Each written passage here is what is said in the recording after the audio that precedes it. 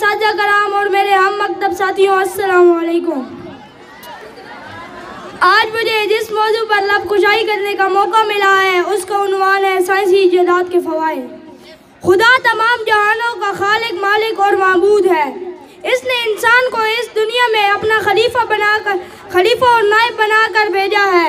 और इसे इतनी अक्ल से नवाजा कि वो अपने रोज़मर्रा ज़रूरियात को पूरा करने के लिए मुख्तलिफ़ इजादात कर सके। कुरान पाक में कायनात कायनात में वो मुसखर करने और उस पर तफक्कर करने पर ज़ोर दिया गया है। अब तक तरक्की के जो आसमान फतह की है, सब साइंस का करिश्मा है।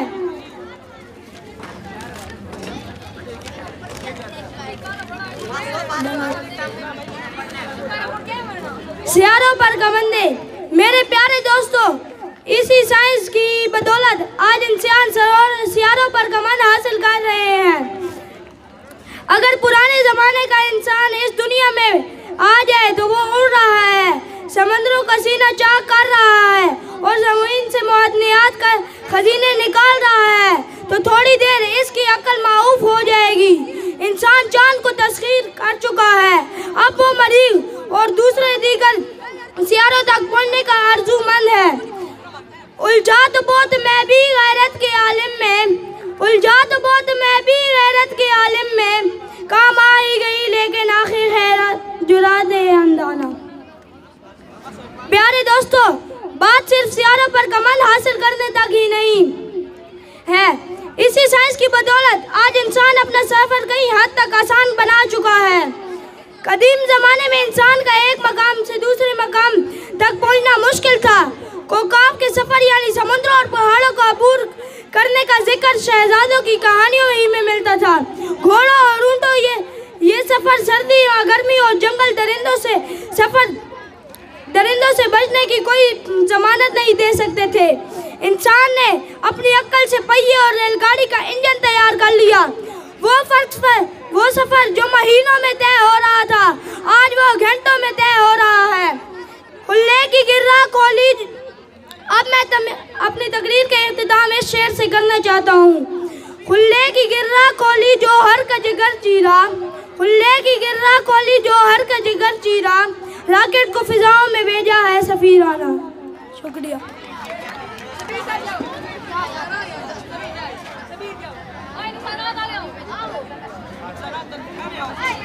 अस्सलाम वालेकुम मेरे साथियों। जैसे कि आप जानते हैं कि मेरा मौजू है कि साइंस हमें नुकसान देते हैं। नुकसान करते हैं साइंस। ये मेरे दोस्त कहते हैं कि साइंस हमें फ़ायदे देती है। इनका पेज ना मुड़े तो इनको अल्फाज नहीं आते। इनका गूगल इनका गूगल बन जाते हैं, इनके अल्फाज बंद हो जाते हैं और इनको साइंस फ़ायदे दे रही है। साइंस के, हमें हमारी ज़िंदगी में कोई फ़ायदे ही नहीं है। साइंस अब, पहले के लोग जो थे, उनके ना फल छोटे हुआ करते थे। लेकिन उनके, उनमें ना फ़ायदा हुआ करता था उन फल का। और आपके साइंस वाले कहते हैं कि इनमें इंजेक्शन लगने चाहिए, इनको दवाइयाँ लगनी चाहिए ताकि ये फल बड़े हो जाएँ और इनमें अच्छा प्रोटीन हो। लेकिन इनमें कोई फ़ायदे नहीं होता, इनका बस साइज़ बड़ा हो जाता है। हमें इन खानों का कोई फ़ायदे नहीं होता जो ये आजकल बना रहे हैं पिज़्ज़ा बर्गर वगैरह, ये सब साइंस की ईजाद है और किस चीज़ की ईजाद है? ये कहते हैं कि हमें, ये ये कहते हैं कि हमें जो सी साइंस है ना, हमें अर्श ज़मीन से आसमान तक ले गई है। लेकिन अब तो वो असले बन चुके हैं कि हमें अपनी ज़िंदगी का भी नहीं पता। कहाँ से कोई बटन दबे कहाँ से कोई बम आए और हम पे फट जाए, कोई पता ही नहीं है। मैं बस इतना ही कहना चाहता था, शुक्रिया।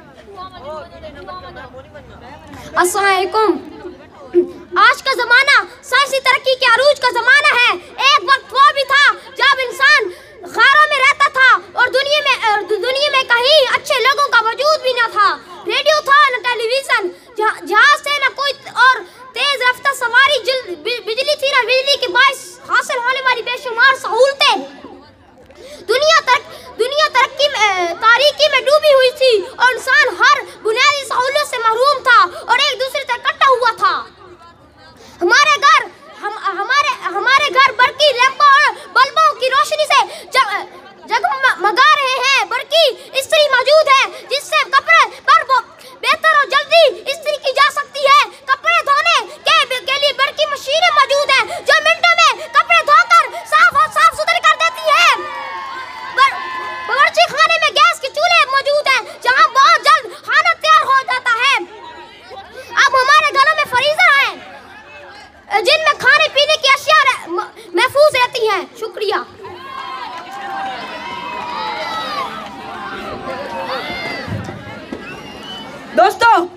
असलकुम जैसे कि मेरे भाई हरून ने कहा है कि साइंस ने हमें गारों से निकाल कर बड़े बड़े मोहल्लात में ले आई है। तो ये आप खुद ही बताएँ कि हम गारों में महसूस थे महफूज थे या मोहल्लात में हैं? आज के दौर में मोबाइल, आज के दौर में मोबाइलों ने इंसान को एक एक दोस्त को अपने दूसरे दोस्त से दूर कर दिया है। हम सिर्फ़ व्हाट्सएप पर चैटिंग करके चैटिंग पे लगे रहते हैं। ना कभी आपस में मिले हैं, ना भी, ना कभी कहाँ पर मिले हैं। लेकिन आज आज के दौर में साइंस के कितने नुकसान हैं। आजकल, आज इतनी पोल्यूशन हो गई है, मुंबई, लाहौर और और भी बहुत से बड़े बड़े शहर पोल्यूशन की वजह से ख़राब हो चुके हैं लॉकडाउन लग चुका है। तो आप खुद ही बताएँ कि क्या साइंस की इजादात के, का ये फ़ायदा है? आप खुद ही बताएँ। आप ये बताएँ कि साइंस क्या पोल्यूशन साइंस इजादात की वजह है कि नहीं है? ये तो सबको पता है कि है। तो फिर क्यों साइंस इजादात के ये फ़ायदे बयान कर रहे हैं? शुक्रिया मेरे मोहतरम कराम मेरे हम साथियों अस्सलाम वालेकुम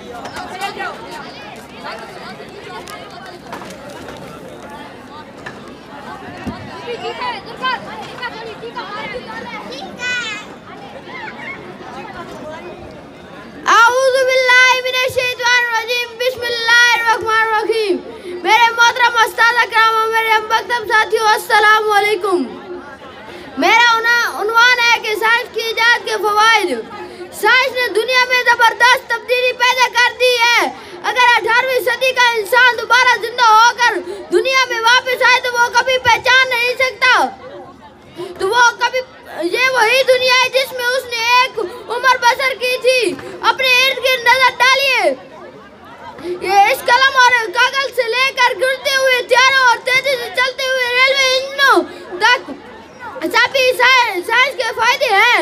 एक दिन ऐसा भी आएगा कि मौजूद दुनिया बिल्कुल बदल जाएगी आने वाली नस्लें आज के टेलीविज़न और रेलवे इंजन को जमाना कदीम की सादस भी आज़ाद के नाम से जानेगी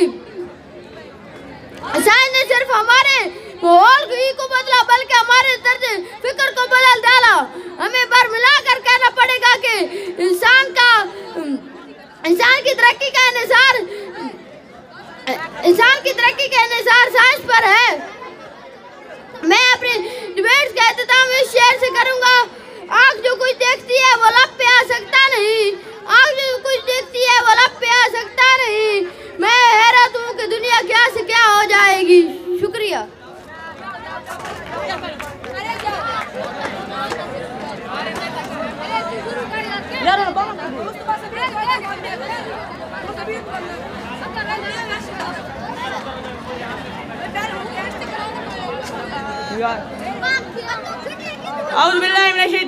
बिस्मिल्लाहिर्रहमानिर्रहीम मेरे प्यारे सादा कराम और मेरे अहमद साथियों अस्सलाम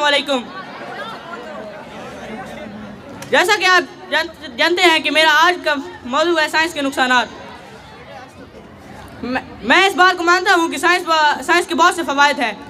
लेकिन साइंस जितने साइंस के फ़वाद हैं उससे कई गुना ज़्यादा साइंस के नुकसान भी हैं।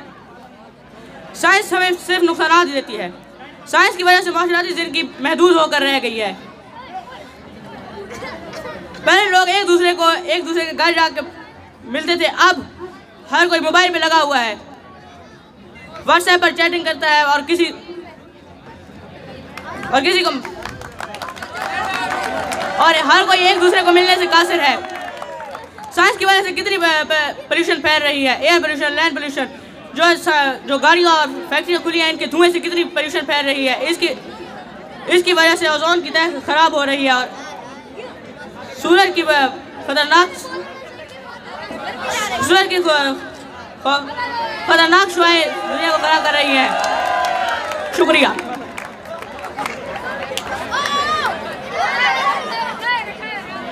मेरे प्यारे दोस्तों अस्सलाम वालेकुम का मेरा मौजू है साइंस के नुकसान साइंस के बहुत से नुकसान हैं। जिस हद तक साइंस सही है, उससे ज़्यादा साइंस के नुकसान हैं। साइंस हमारी ज़िंदगियों में बहुत से पोल्यूशन छोड़ रही है। साइंस की वजह से हम बीमारियों के शिकार हो जाते हैं। साइंस हमारी आबो हवा को भी मुतासर कर रही है। जिसकी वजह से हम बीमार हो जाते हैं। और